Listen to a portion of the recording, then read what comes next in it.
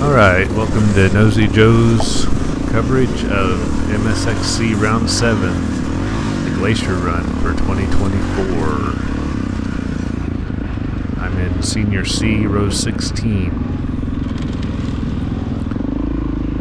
You can see the conditions are pretty tough this year, really earning the name of the race. A high of 27 this day, and I'm not sure if it got there or not. It had been freezing all week. The ground was well frozen. About the only good thing you could say is there wasn't any mud.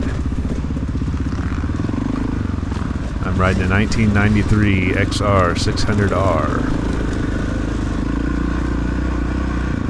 Kickstart. Typically this bike is not an advantage, but these last two races, the Mudder last week and this uh, Frozen race, I actually felt like it was an advantage. I was able to get some traction where these modern lightweight bikes were not. I'm going to show you my first lap of three. It wasn't my fastest, but honestly I was pretty consistent at about 32 minutes did three laps. It was a 90 minute race, so come in at an hour and 36 in fourth place out of 12 in my class. Trying to find some alternate routes here, but uh, right away find a slick spot here. Luckily, keep the bike running and don't kill it, so I can keep on going. Here's Chad Lester and his Yamaha kickstart to my left there. He's the only other kickstart bike in my class.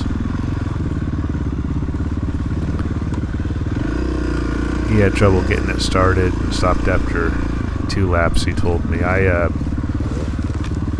had a little trick on getting it started today. I brought my generator and ran a heat gun on the cylinder for about 25 minutes before I even started to try to kick it over, and it did fine then. And couple times I did kill it. I did get it restarted fairly easily.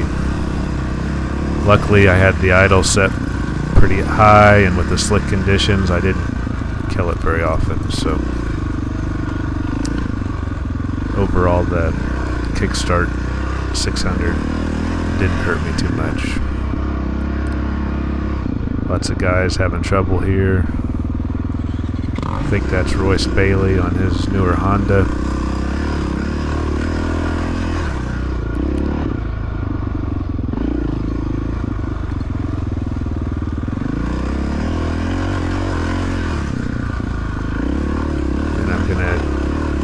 Chase down uh, Jose here on a KTM. He and I go back and forth several times during the race, which you'll see. It's kind of interesting this first lap trying to figure out what was slick and what wasn't. Here where the exposed brown dirt was, was actually good. Then you get into a little bit of powder.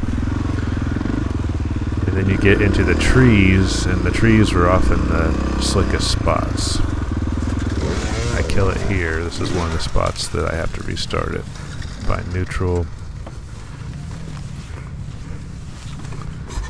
I'm wearing uh, Oakley snowboarding gloves if you're interested in how I kept my hands warm. They're a warm weather snowboarding glove, um, but they're made very similar to a dirt bike glove.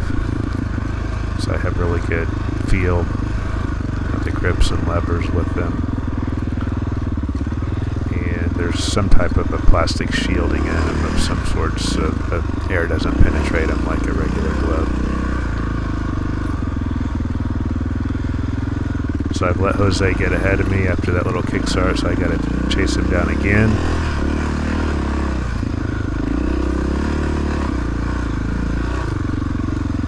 Look for the brownest of the brown dirt paths my line selection. Try to use a little bit of bank whenever I can.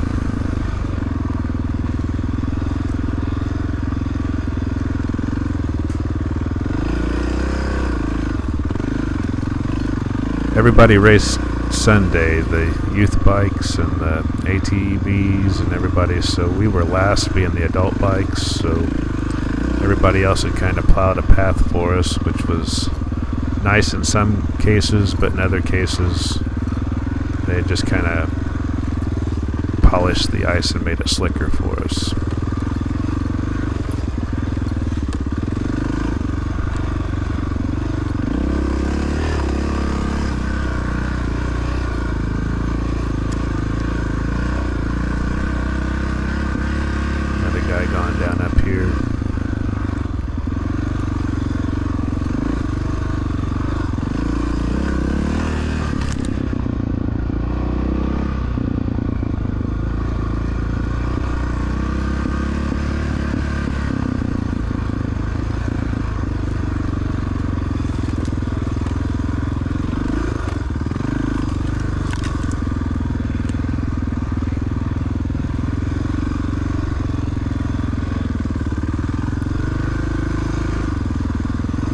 Thought a lot about tires this week, not knowing whether it was going to be muddy or just hard. I kind of decided it was just going to be kind of hard. Um, but that didn't really make a lot of difference. I just ran the tires I always run.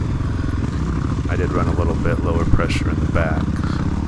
So the BE33S made by IRC. In the back, that's the Dakota version a hybrid gummy.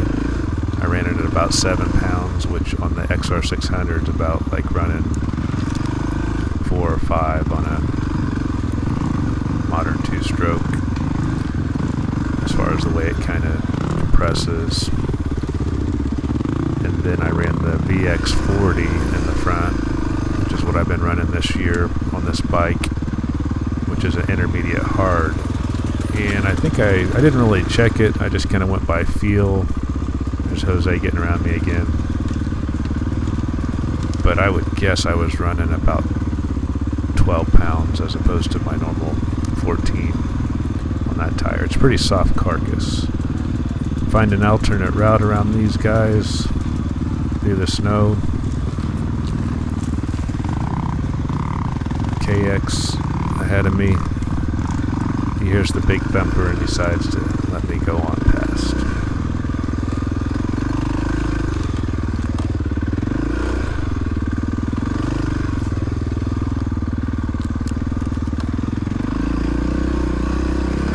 Trying to decide which line is the best. Oftentimes they just kind of all look the same. Just try to pick a line to avoid other people. Not a good day for Yamahas, it doesn't seem.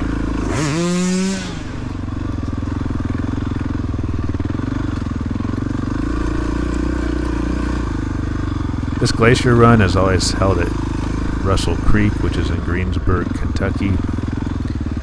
It's a neat place.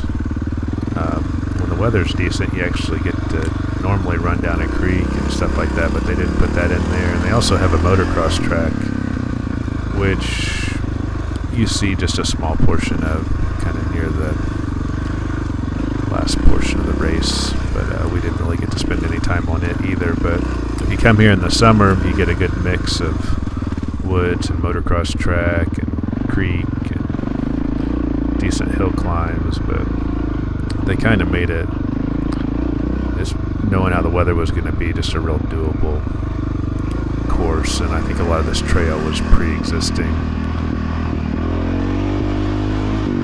I'd been here several times between MSXC and KXCR.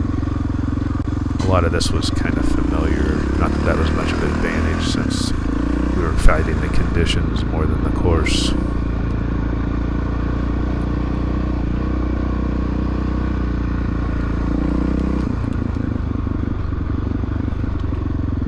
I run this bike kind of fat on the pilot jet. Oop, there's another slick spot. Oh, and I killed it. I was going to say I run this carb a little fat on the pilot jet, but today with the temperatures I think it was actually just right. Didn't make it start any easier though because that's why I run it fat to be honest.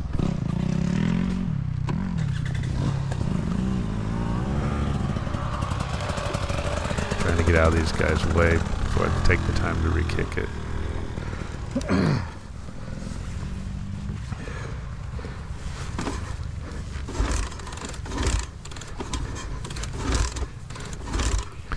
there is kind of a secret method of restarting these XR600s if you can find top dead center. Which is what I'm trying to do there. Sometimes I just get impatient and start kicking it.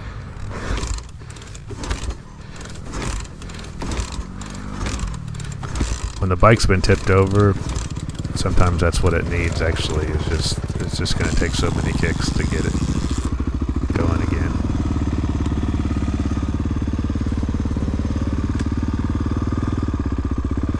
Alright, got it going. I lost a lot of places here that I had just gained. And I think that's the main disadvantage this bike. People ask me about it all the time. Yeah, it's heavy. Yeah, it's old technology.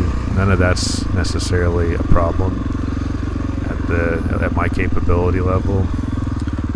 But this thing definitely has cost me some spots, especially in earlier races, not so much this one just from the kickstart and, and the restarting. Not being able to just hit a button when you make a mistake going again is, has been a disadvantage.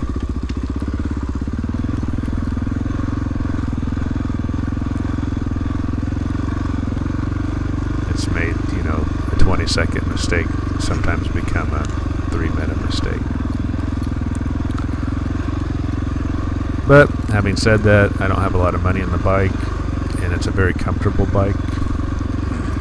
And with these bad conditions, whether that be a mudder or this ice race here, I've been able to find a lot of traction with the bike that um, I don't know that I would have found on another bike. So.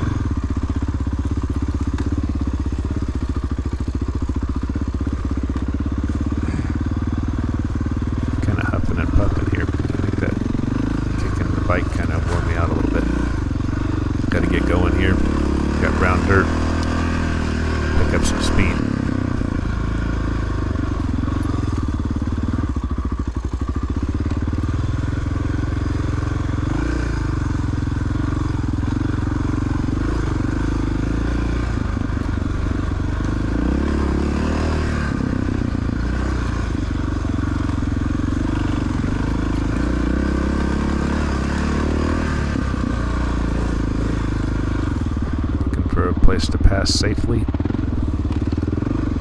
There's a beta there. Beta guys actually did pretty good today. I didn't see too many of them stuck.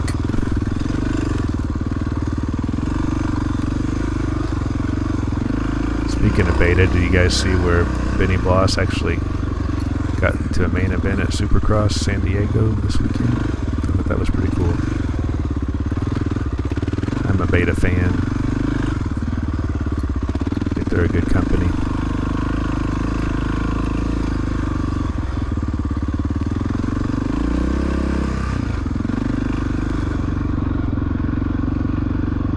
Speaking of that, I've been tr trying to figure out like what would be a modern bike that has similar power delivery characteristics to my big XR. If you guys have any ideas, put them in the comments. Um, what I've come up with so far as a popular opinion is the Beta Beta 390. It's supposed to be just a very torquey yet controllable four-stroke. Basically a stroker version of the Beta, Beta 350. And it's not nearly as amped up as like the 450 bikes. I've also looked into like the Sherco 300s or even their 450, which is a lot milder than uh, the motocross based 450. So would appreciate some feedback on that if I were to get a electric start bike. Like I said, there's a lot of things I like about this XR but uh, kind of looking for something that carries the uh, strengths of the XR into more modern. I know I could get an XR 650L, but I'm not 100% against that. But then I'm adding another 40 or 50 pounds to this bike, and you know I don't mind it weighing 310 pounds. I don't know if I want it to weigh 350 pounds. Anyway, I might just stick with this though. It's been very dependable. And so far, at least with the end of this race, I'm sixth in points in my class, and with my T 300 last year, I finished fifth. Um, and I'd say the competition's every bit as stiff, if not stiffer. So I've really only lost one one spot on the big XR compared to the TE in this series. Which isn't bad because I bought this bike really to run the KXCR Adventure series. I had never planned to use this bike as my main hare scramble bike. It just kind of worked out that way. And I've just been having fun on it.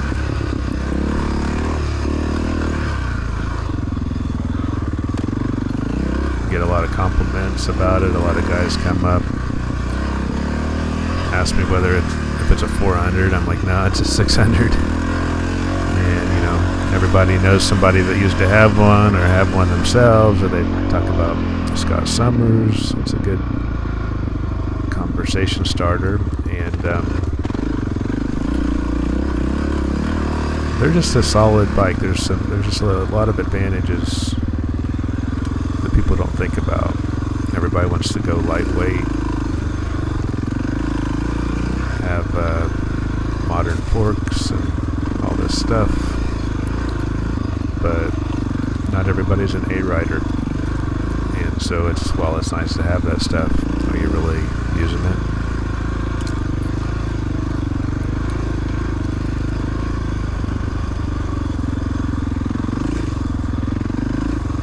And these XRs are just such so low uh, maintenance and just very reliable. And I don't think you say that about modern four strokes.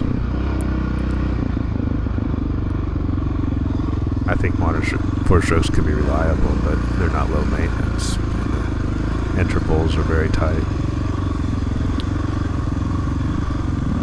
Which is why I've kind of stuck to two strokes on the modern bikes, but this XR has kind of given me a different attitude towards the four stroke. Is why I'm trying to find something that would be similar. I don't want anything too high strung, high compression, something that's going to be flaming out all the time.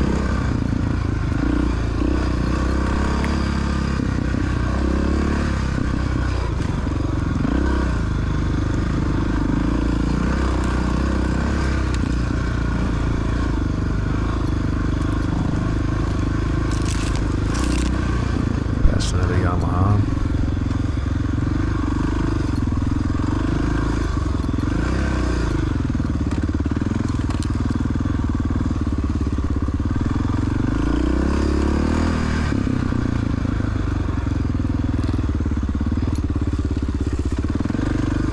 So yeah, this is my again. This is my first lap only. Um, second lap, I thought I felt better, but it showed a little bit slower on the time. Uh, and then my third lap was actually the fastest. I had a 31 minute, some change third lap. Um, there was less people out on the course at that point, I knew the course at that point, and I had less mess ups. So that probably explains that.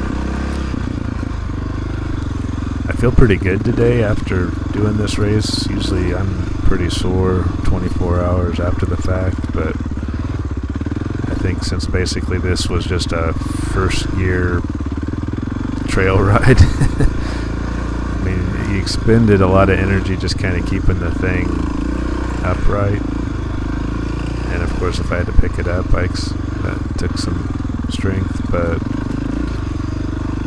otherwise, it was kind of a low intensity race.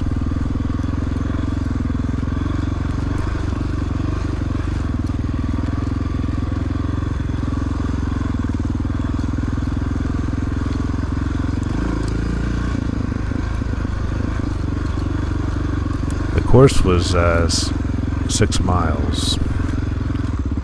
So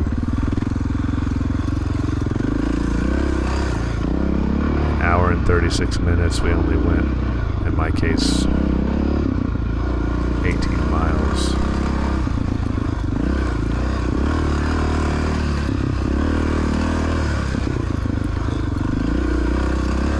I guess one thing I can talk about is gear selection for these type of temperatures. Again, it was only 27 degrees. One thing I didn't do well was my CamelBak. Um,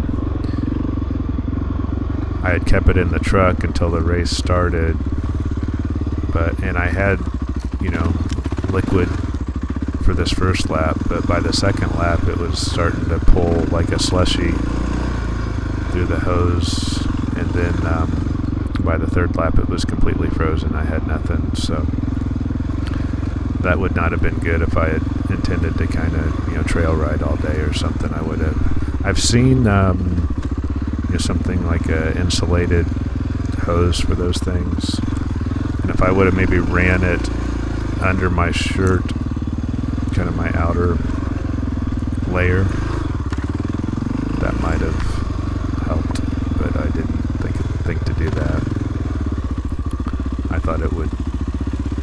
There's Jose again. I thought it would have been fine.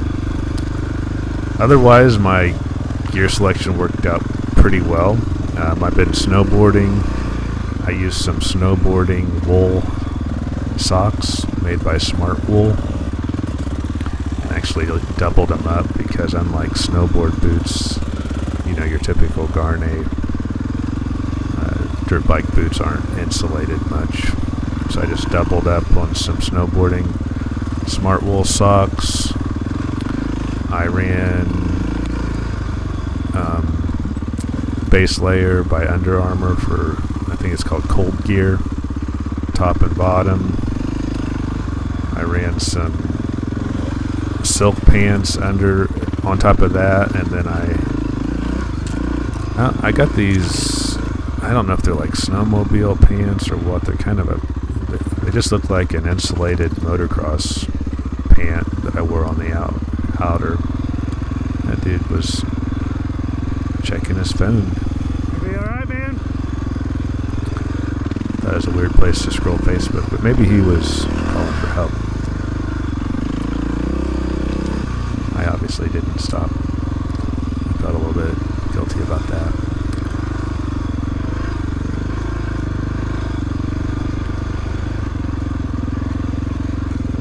Anyway, so the cold gear, um, Under Armour, base layer, silk, and then um, some type of insulated motorcycle pant.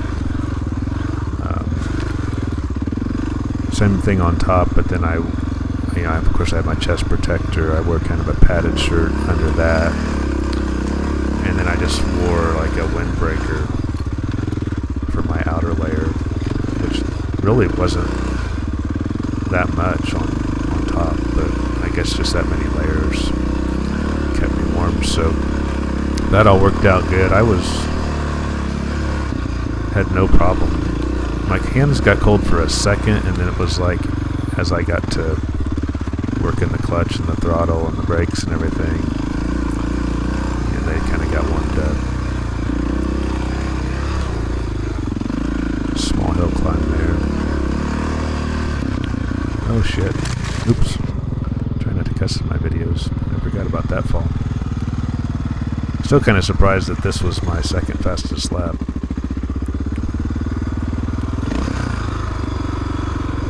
This is coming up out of the woods. Then we kind of go across to field a little bit, I recall. Got the red dirt. It was just a little bit wet. So about the only mud I had under, under my fenders was this red color.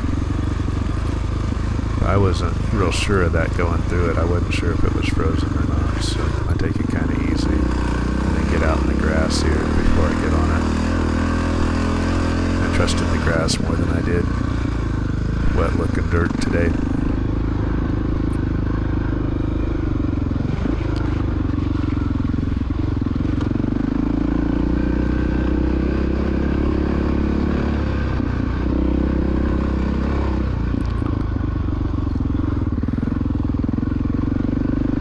This is kind of in the vicinity of the motocross track. This I don't believe is the motocross track, but that's what that red clay dirt looks like on the motocross track. Kind of a downhill here. It's actually got pretty solid dirt on it, but I didn't know that for sure on this lap.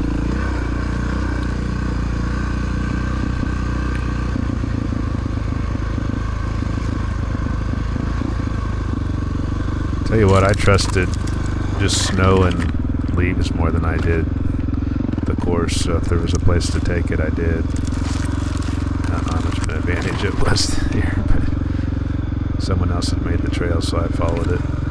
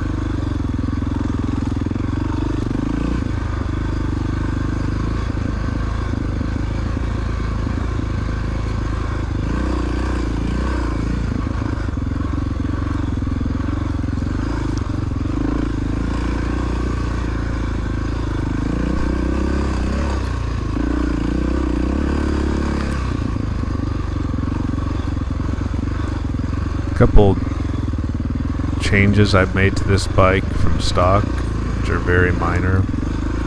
Besides the rejetting, it's got the uh, FMF PowerCore 4 full exhaust on it. It's got a uh, foam air filter on it, and I've I'm running flex bars. That's something I changed out during the season, which I'm really really liking lot less more, a lot less soreness on my wrists, a lot less impact to my hands and stuff.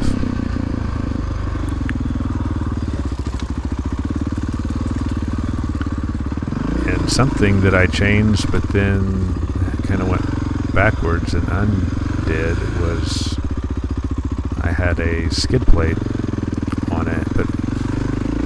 before that mud or last race, I, I, I had just gotten tired of the skid plate just kind of scooping up mud. And the, I mean, after after two races ago, I must have had 20 pounds of mud, and then that really started to affect how the bike handled. And wanted to wash out the front. And you see there, I kind of bounced off of that and took another route. And anyway. Um, I read where Scott Summers went went back to just a stock skid plate for similar reasons. Uh, it's not really a skid plate; it's more like a three little round stock bars that kind of deflect around the engine and case. So I've done that the last two races, and um, I think I'm just going to stick with that. I, I don't have all this mud that I'm carrying around with me.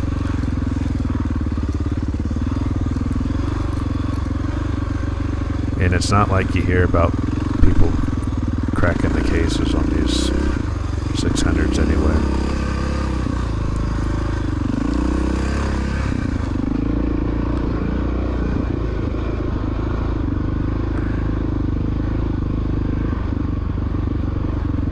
So coming up here, this downhill, this is just a free fall and was really a pucker moment here. I don't know if anybody else experienced that hill that way as well, but it's that guy went down and I thought, oh, I need to avoid him, and I just had zero brakes and there wasn't anything I could do but just kind of ride it out. So that was one of the, the scarier little downhills for all three laps.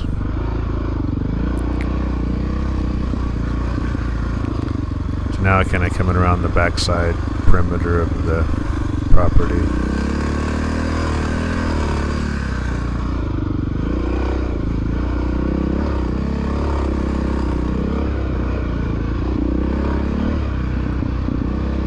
These trails are in almost every race at Russell Creek.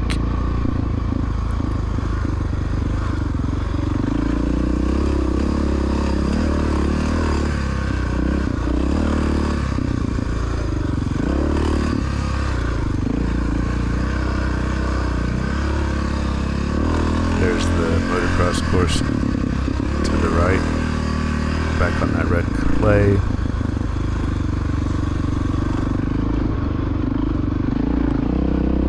It's usually a good sign that you're about done with a lap. Again, I'm sticking to the grass a little bit because I'm not sure if this is slick yet or not. Ends up it's not bad, but I didn't know that first lap.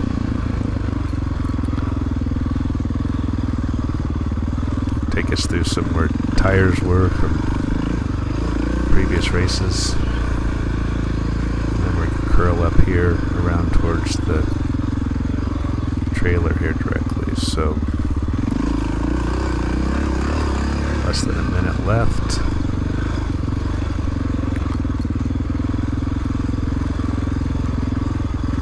I don't think that was the ideal line through there. I took a, a high road the last two laps.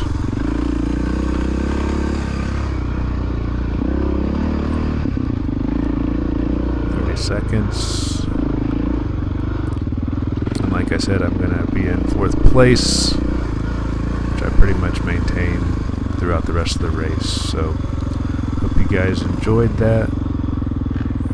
Hope you guys like hearing the XR thump along. If so, uh, stay tuned and you'll see my next video, hopefully at uh, Cave City. See ya.